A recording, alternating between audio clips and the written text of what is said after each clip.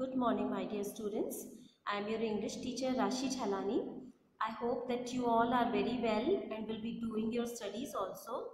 Today, I am going to teach you a lesson of English 1 book. But before starting the lesson, I would like to tell you about your books.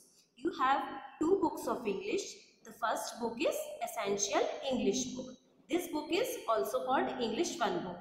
I think all of you know about it.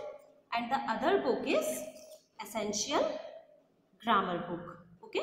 This book is called English 2 book. And today we are going to uh, read a lesson of English 1 book. So let us start it.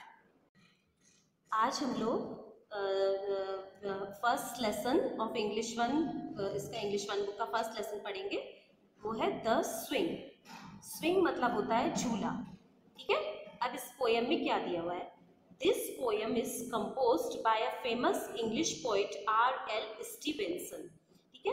ये poem compose मतलब लिखी गई है bye a famous मतलब प्रसिद्ध English poet English के कवि are L Stevenson के द्वारा ये पोएम लिखी गई है। इन दिस पोएम इस पोएम में the poet describes the scene scene from the swing इस पोएम में पोइट ने डिस्क्राइब मतलब वर्णन किया है सीन सीन मतलब दृश्य का और सीन मतलब जो देखा गया है, जो दृश्य जो है हमने झूले से देखा है, जो देखा, जो हम झूले पे बैठ के जो दृश्य देखते हैं, उस सीन का वर्णन उन्होंने इस पोएम में करा है, ठीक है? तो चलिए पोएम शुरू करते हैं।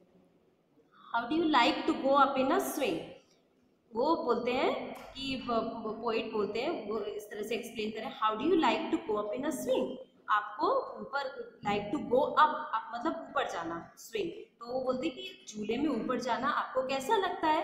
Up in the air so blue up in the air so blue जब आप ऊपर में जाते हो तो आपको क्या बहुत ब्लू ब्लू दिखता है? ब्लू क्या दिखेगा हमको? स्काई ब्लू दिखता है ना? थोड़ा सा मतलब हमको जैसे जब हम ऊपर जाते हैं तो हमको थोड़ा सा सब कुछ ब्लू कलर ऐसा दिखता है। ओ I do think it the pleasantest thing तो फिर वो बोलते अरे, मेरे को तो लगता है कि ये सबसे ज़्यादा प्लेजेंटेस्ट मतलब सबसे ज़्यादा मज़ेदार चीज़ है।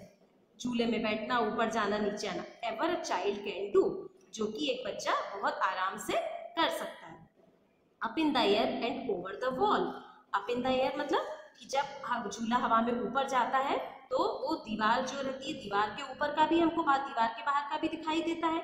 Till I can see so wide और जब वो दीवार के ऊपर भी झूला जाता है तो हमको बहुत दीवार के बाहर की दूर दूर तक की चीज़ें दिखाई पड़ती है।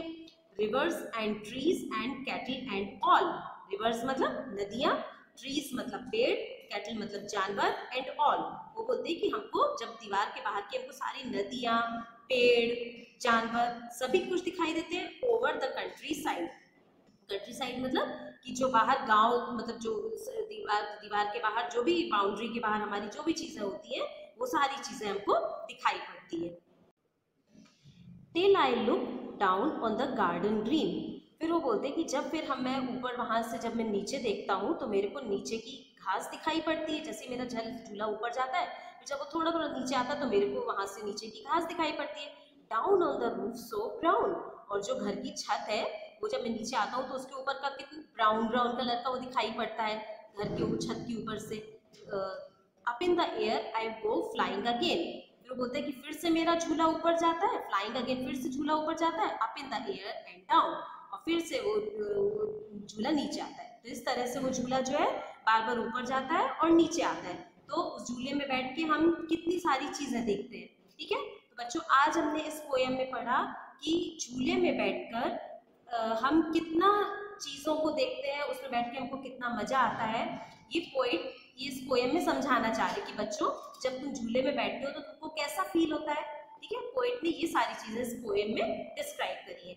आप सब लोगों को इस पोएम का मीनिंग बहुत अच्छे से समझना है और वीडियो को आप एक बार बार देखिए जब तक आपको मीनिंग अच्छे से समझ नहीं आता और उसके बाद इससे रिलेटेड इस लेसन से रिलेटेड जो भी मैं आपको काम दूँगी, वो आपको करना है। ठीक है? तो आज के लिए बस इतना ही। Thank you all of you and take care